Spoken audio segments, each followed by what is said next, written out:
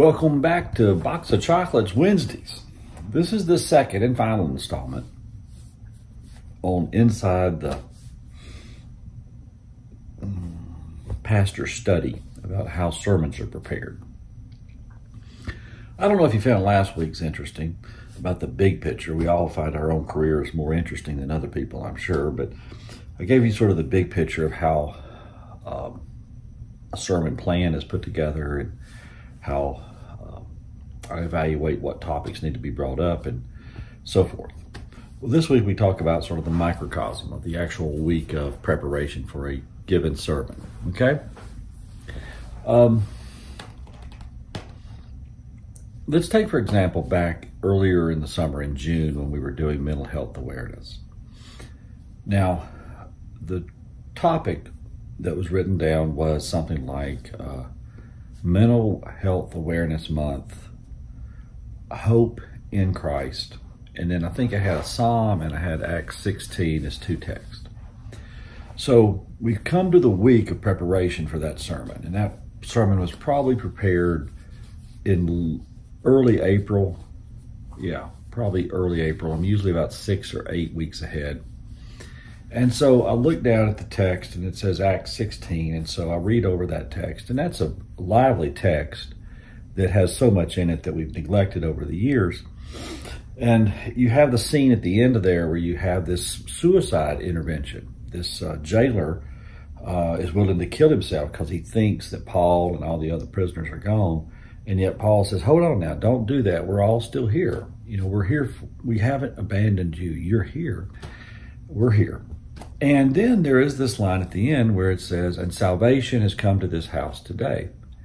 And I think that we read that from 20 centuries later and all the theology that's been built since then and see that that say, well, the family got saved. Well, think about it from their perspective. What they were going through that day was that if she had lost, if a wife had lost her husband, she's nothing. She every woman in that society and culture had to be a mother or they had to be a wife or they had to be a daughter.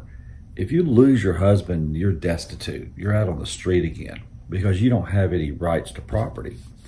And so when it says salvation comes to this house, it really meant in the fullest sense that this house would have been destroyed with this death. And so you read that sort of material, you read some commentaries, and then as I was preparing that message, you also have to have some facts and figures about mental health and the mental health issues that we have around us. And so I chose as a method, and there are about four different methods you could choose. I chose as a method the following method. First step is set the stage. Get the characters involved, put the text on the table, talk a little bit about the text.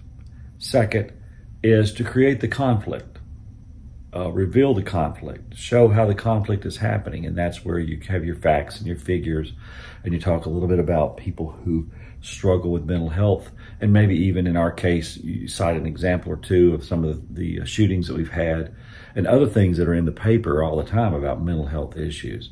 But the third stage of this method is at the end, you're going to resolve it. You're going to resolve it by bringing that crisis back into relationship with that text.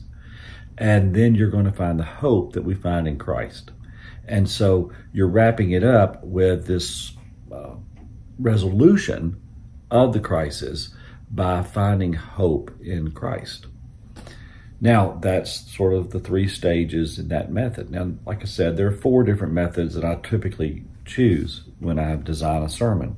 I probably choose two of the four more frequently than the other two. As I wrap this up, just a, a word. I typically begin with a topic, all right, an idea.